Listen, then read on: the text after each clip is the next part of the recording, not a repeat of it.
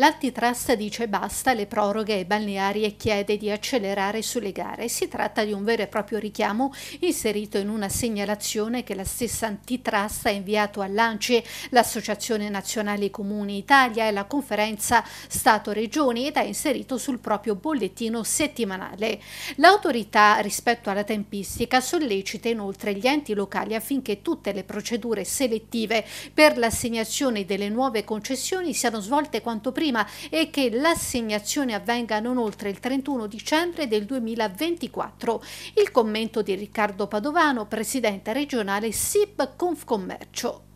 Quindi eh, la domanda che pongo io, ma Solo, ho, ho, letto poco però da parte dell'antitrust per quanto riguarda le concessioni autostradali, per quanto riguarda le concessioni delle acque minerali, per quanto riguarda le concessioni degli impianti di risalita, per quanto riguarda le concessioni che sul demanio marittimo non soltanto fanno attività balneare ma fanno altro.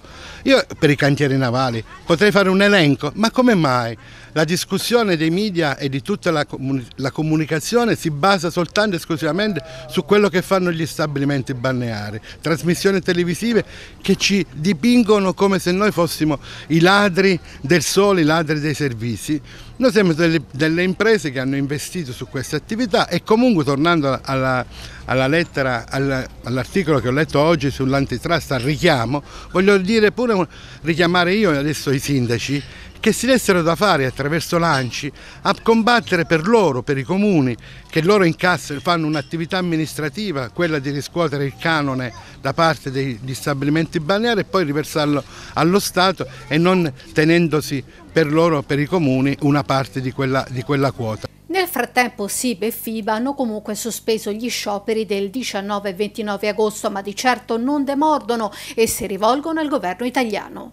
Allora è il caso che appena si, si torni dalle ferie di attivare subito non un tavolo, mi sono scocciato a sentire tavolo tecnico, no, deve attivare la parte politica e deve intervenire subito e mettere mano, attenzione che se si va a fare le evidenze pubbliche e lo diamo in mano ai comuni, rischiamo di fare una torre di Babele, si aprirà un contenzioso all'infinito, rischieremo di avere una, nelle spiagge del 2025 non così bene attrezzate, ma forse occupate e forse dietro tutta questa marchingegno ci sta qualcuno che sta lavorando, condizionando anche le opinioni.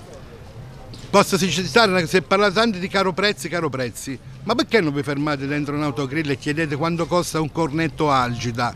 Da noi costa 2 euro, 2 euro circa 2,20 euro l'autogrill 2,99 euro. È bella la politica dei prezzi, che noi facciamo i prezzi alti. E perché noi andiamo a vedere quanto costano il caffè, quanto costano le tre cose dalle altre parti? Perché non fanno notizie, no perché non ce le fanno entrare.